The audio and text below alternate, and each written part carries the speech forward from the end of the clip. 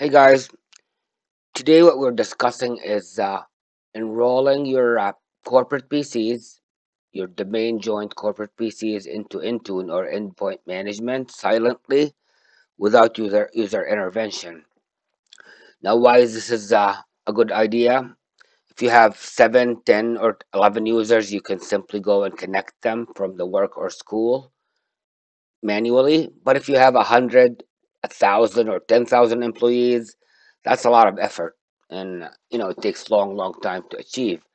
So Microsoft has a way of enrolling those PCs silently uh, into Intune without the user intervention. We're gonna go over it in this video. So the first thing you need to do is to have your Intune tenant configured. Now, if you uh, there are basic configurations for your, your Intune to be uh, able to uh, enroll PCs in it. If you need help with that, I do have a video, a short video that explains what the basic uh, configurations that, that are needed for this. I'll leave a link in the description below for it. You also, the assumption is you already have AD Connect installed and syncing your PCs to, uh, to, to Azure. Now, uh, a lot of companies, without it, before even enrolling in Intune, they sync their machines to Azure and uh, the uh, the machine appears as Azure AD registered.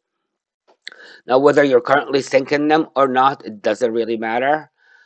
In my lab, I am not syncing the PCs right now, but if you're syncing them again, they appear as Azure AD registered, and that's not a problem. Uh, also, the assumption that uh, is that users in your in, in your company have the correct licensing assigned to them. They have to have an Intune license or a license that covers Intune. Your domain controllers would have to be a 2012 R2 or higher. Uh, if you're still at 2012 R2, by the way, the end of life is uh, coming soon. If you need to, if you need help upgrading them, I also have a video that shows you how to uh, promote your your domain controllers to a newer version to 2022 and I'll, I'll leave a link in the description as well below. Uh, if you do have conditional access for multi-factor authentication, which most companies do, I will show you how to exclude Intune enrollment and simply because Intune enrollment, if it's going to happen silently and MFA is enabled, there's no user to actually enter that MFA, so it's going to error out. So you need to exclude that for this to happen. We will reconfigure the uh, AD Connect in order to hybrid join the, the main joint PCs on premise to Azure. Instead of making them Azure registered, they will be Azure hybrid registered. So the machine would be basically joined to your on-premise domain and to to uh, to Azure AD domain as hybrid. And um, just a quick point, if you do have them already synced and they show as Azure AD registered right now, once we reconfigure, you will see two machines for the two names for the same machine in Azure. One is called Azure Hybrid AD, Hybrid Joined, and one is called Azure AD Registered. And eventually they consolidate into one machine, which is Azure Hybrid uh, Hybrid Joined. So don't panic if you see two uh, PCs in Azure. And the last thing we're going to do is uh, create a group policy to enroll those PCs silently, and we're going to take a look at it. So let's get to it. So here is my uh, Azure tenant. I'm going to go to Active Directory just to show you what devices I have. So currently, under devices, I have zero devices. I don't have anything in here. Now I do have Azure AD Connect and it's syncing users cur currently. And uh, what I want to do, here's my domain controller. I have this PC, which is called LT Test PC. It is currently in this OU that is not syncing. And again, if you're syncing your PCs, that's fine. I just wanted to start it from scratch for people that are not doing it right now. My AD Connect is actually syncing this OU, so I'm just going to move this PC into this OU so it would sync. Okay, so at this point we need to create the group policy that would basically uh, create the enrollment. So we go to group policies here. and it depends where you want to have it. I'm going to create it and link it to uh, this OU, which I'm syncing my PCs from. If you have multiple OUs, you can link it to the multiple OUs. So I'm going to create a new one and just maybe call it Intune Auto Enrollment, Auto Enroll. And now I'm just going to edit this policy. Go to Policies, Administrative Templates, Windows Components, and I'm going to go to MDM. As you can see, I have two policies here. This is the newer one, the new ADMX file, and this is the older one. Now, it doesn't matter what you have, but if you have the, the old one, you can install the new ones by searching on Google for uh, download ADMX files. If you uh, have the old one, you just simply double click it and disable it. As you can see, if you disable this policy, MDM enrollment will be enabled for all users. I'm going to go ahead and configure the newer one. And as you can see here, it's a different story. If you enable this policy, the task is created to initiate enrollment. So I'm going to enable it and I'm going to use user credentials so when the user logs in they get automatically registered so it, it is enabled now and I'm going to go to device registration and simply enable the registration of devices in Azure and now I'm going to go and uh, reconfigure Azure AD Connect for hybrid join and I, what I'm trying to do is have Azure receive the PC as a domain joined on premise and then join hi, hi, hybrid join it to uh, to uh, Azure. So this is my AD Connect. I'm going to go to configure device options next. And as you can see, here's the hybrid Azure AD join. I'm going to go to it. I'm going to put my put my password.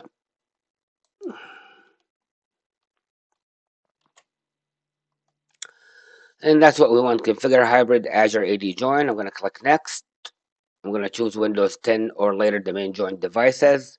And that's domain, our on-premise domain. I say next.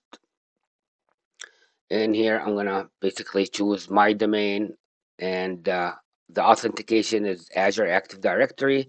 I'm just going to add my local domain admin account here on my domain controller for for this to uh, to uh, access it.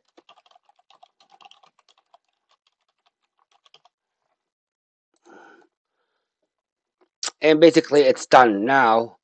Uh, we just we don't have to do anything here. Just say next and next. Configure it, and you'd have to wait some time. Uh, now those PCs that will be uh, joining the domain they will have to be online. So if a PC is not online, it's not going to be uh, auto enrolled in Intune or joined to Azure AD. And when they are online, it takes them some time to uh, to uh, you know discover those SCPs. So you know I'll give it a few hours or to the next day or something. And I'm just gonna hit configure here and wait for it to uh, get done. And that's it. It's successful. I'm gonna exit out. And what i'm gonna do is uh, i'm gonna wait a little and then come back once this is uh, you know picked up. What i do want to show you here while we're here is i do have a windows 10 machine which is uh, what, what i show you what i showed you in my domain controller. And that's the name and that's the one we're going to be syncing. So i'm gonna go ahead and uh, force the synchronization so this PC can be synced to Azure and that's only when I come back. Now while we're waiting for this, please remember to hit that like button and subscribe for more content like this. Alright, so I'm going to go ahead and uh, start the sync. You do not have to do this as uh, if you have uh, Azure AD Connect running, it, by default it syncs every 30, 30 minutes. I just wanted to uh, force it so it would uh, do it quicker. So now if we go to uh, my devices in Azure here, and I refresh, it's still not syncing. Let's uh, just wait a little. I'm going to pause and come back when it syncs, when it's complete. Okay, so um, here's my PC, as you can see, and uh, it's the join type is hybrid Azure AD join. And again, and uh, if you did have your PC here joined to uh, Azure AD and it says here Azure AD registered, you will see another machine just like this one with Azure AD joined with hybrid, and then they will consolidate. So you just leave them for a day or two. As you can see, the registration is pending here. It doesn't really matter. It takes sometimes hours or a day or two. Eventually, it'll say registered. As you can see, MDM here is uh, saying nothing. And if I go to my MDM and look at any registered devices here, I have nothing. So the next thing we want to do is we want to go to uh, conditional access policies, and that's to uh, basically uh, exclude Intune enrollment from from uh, Intune enroll from from uh, MFA, so the the process happens smoothly. So if I go to uh, conditional access here,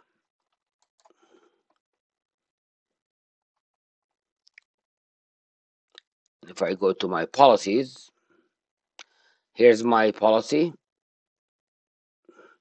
I have it on off, but you can turn, you know, in your case, maybe it's on, I'll, I'll turn it on.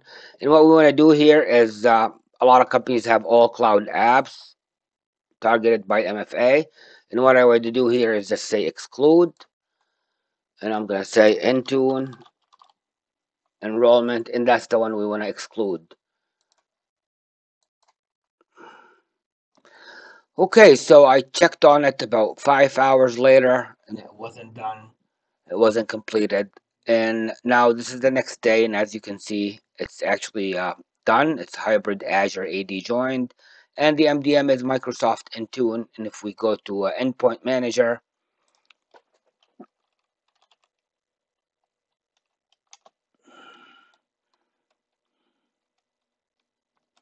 if we go to Devices,